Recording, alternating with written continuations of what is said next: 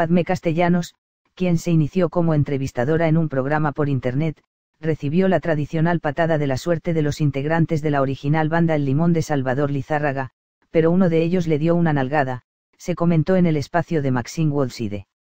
Ante eso, Padme se molestó porque le pareció una falta de respeto, pues solo pidió una patadita de la buena suerte, dijo Ana María Alvarado CEO conductora del espacio Todo para la Mujer.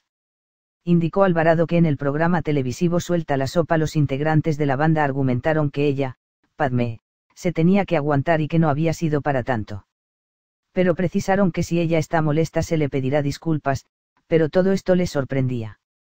Agregó, que el reportero del programa de espectáculos Suelta la Sopa, Vladimir Pozos, comentó a los de la banda El Limón que más les iba a sorprender, porque Padme Castellanos presentó una denuncia ante las autoridades, porque esto estaría representando una agresión sexual.